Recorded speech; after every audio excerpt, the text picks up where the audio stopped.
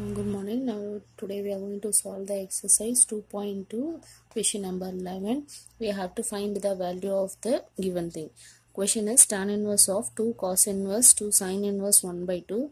See given here tan of cos of sin sin inverse is given here. So first let us solve for the sine inverse then we will solve for the cos and then we will go for the tan inverse. Now first let us take sine inverse. Sine inverse of 1 by 2 is there. So first uh, 1 by 2 is a value which relate uh, which value is relating to this sine inverse we have to see. See 1 by 2 we know that uh, sine pi by 6 is equal to 1 by 2. So, sine inverse of sine theta means theta will be the value. So, this we can take and we can apply here. So, this is equal to tan inverse of 2 cos of 2 sine inverse. This 1 by 2 we can write as sine pi by 6. Now, sine inverse of sine pi by 6 is pi by 6 so this is equal to tan inverse 2 cos 2 this value is pi by 6 now this get cancelled. Here it is 3 now this is equal to tan inverse 2 cos pi by 3 now cos pi by 3 value is cos pi by 3 value is equal to 1 by 2 now. Now let us substitute that. So tan inverse of 2 into 1 by 2. Now these two will get cancelled. This is equal to tan inverse of 1 that is equal to pi by 4. Now the next question is tan 1 by 2 sine inverse sine inverse this is sine inverse sine inverse 2x by 1 plus x square plus cos inverse minus 1 minus y square by 1 plus y square.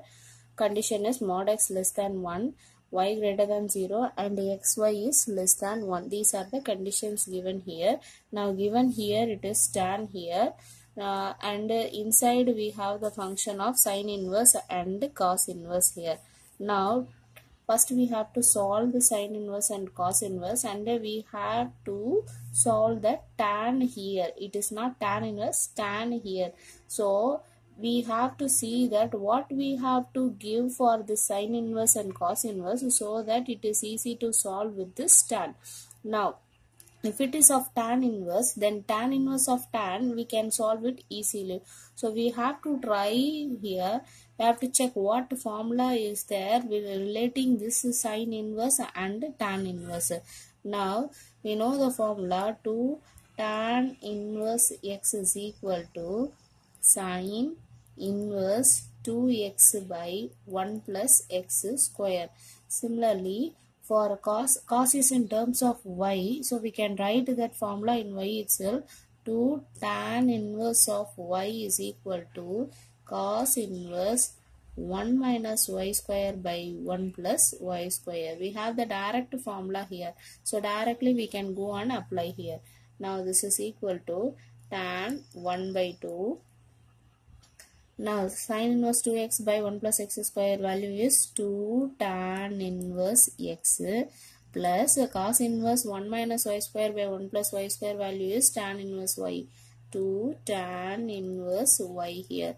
Now both the terms are having 2 here. Let us take the term 2 common out 1 by 2 into 2 and then remaining is tan inverse x plus tan inverse y here.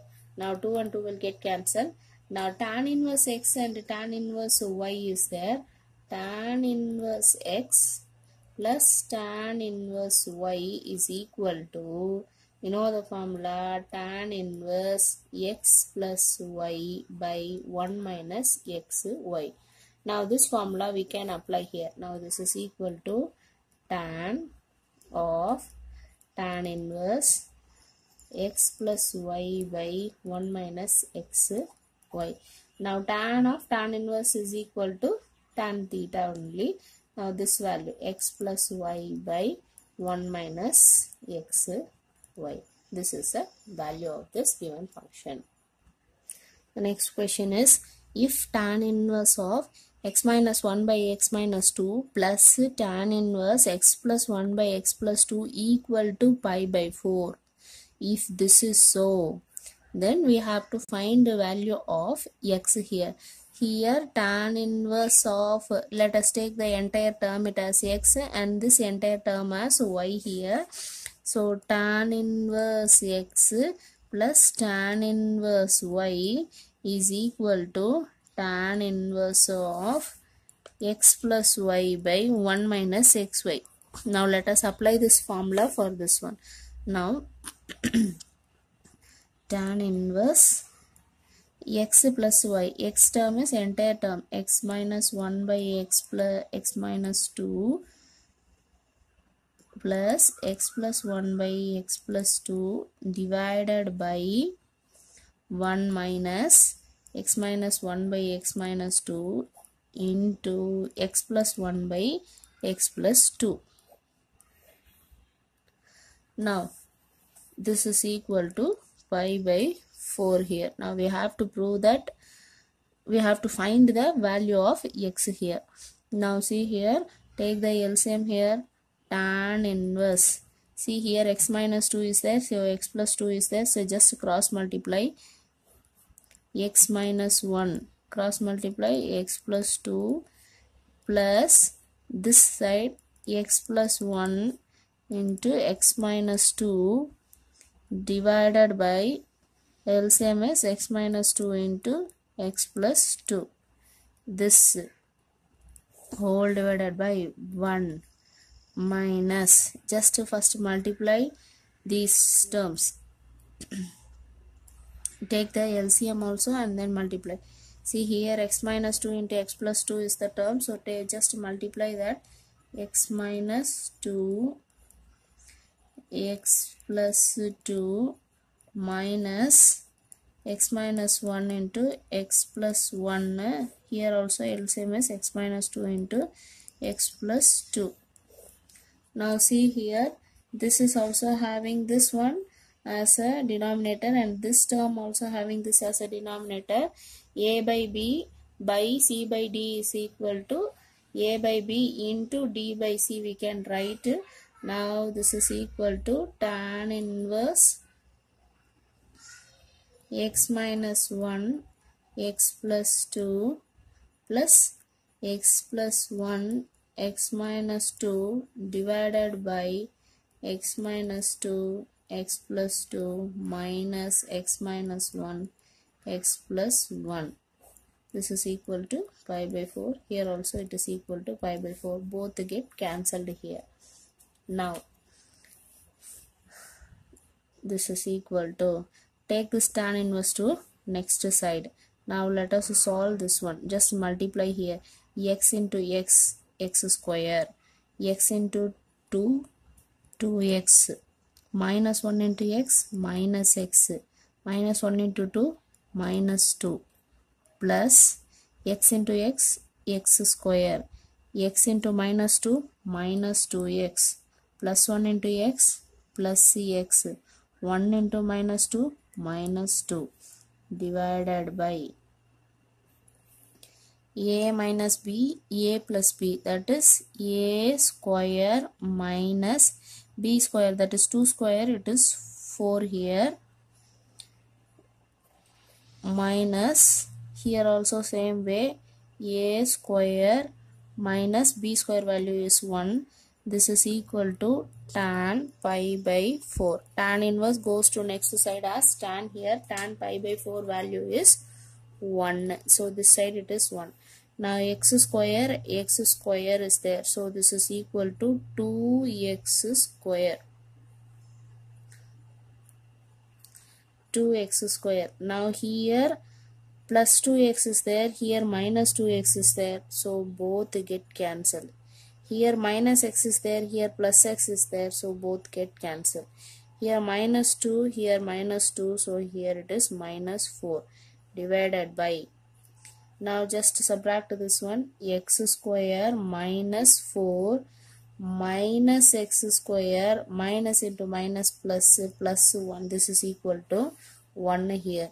Now this implies 2x square minus 4 denominator minus x plus x square both get cancelled.